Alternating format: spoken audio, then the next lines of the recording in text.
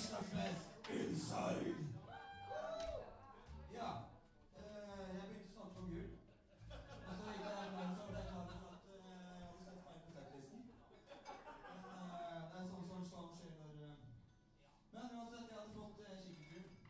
Og med den så kan jeg Da kan jeg spionere på nabogården. Ikke at det er en nabogård her, men hadde det vært en nabogård, så